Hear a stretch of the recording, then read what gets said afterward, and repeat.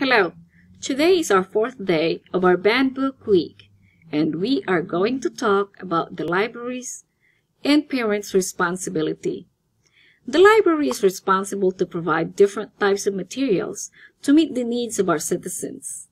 HPL, like other libraries, supports the principle that lifelong literacy is a basic right for all individuals in our society and is essential to the welfare of this city.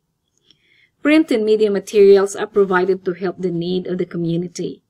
It is the responsibility of the library to provide information and enlightenment for all ages.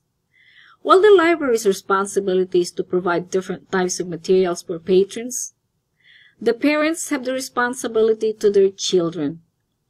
It is the parents' responsibility to guide and direct their children to materials they feel appropriate to their child's or children's age reading level. Parents should guide their children to materials that they are reading. They should know of what their kids' interest in terms of books that they read in print or online. Parents should be aware of these so that they will be able to select or choose the right materials that is appropriate for their kids in terms of content and message. It is important that parents be involved in their children's reading or viewing activities since parents are the role models for their kids' literacy.